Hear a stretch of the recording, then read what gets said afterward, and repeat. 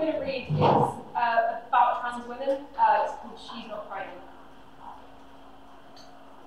She's not a liar.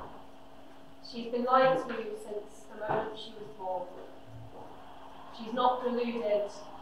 She has finally, finally found the truth. She's not pretending.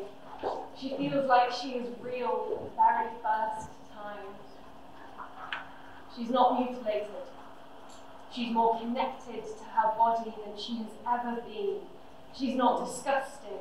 She is messy and fractured and pure. She's not lurking in your bathrooms. She works a day job. She can hold her piss for England. She's not coming for your trophies.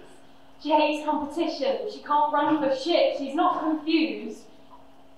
Okay, well, she is confused about a lot of things.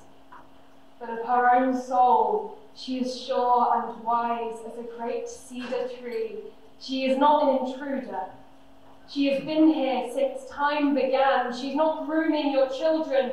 She's busy grieving the fact that she barely got to be one and she is not taking up your space because you won't let her into it because the world has tightened around her and forced her to shrink. She is not a fucking monster.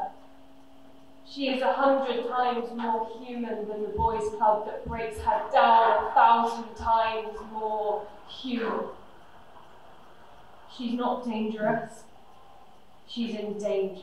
Every time she dips her toe into the cold stone of her front doorstep, every day she lives.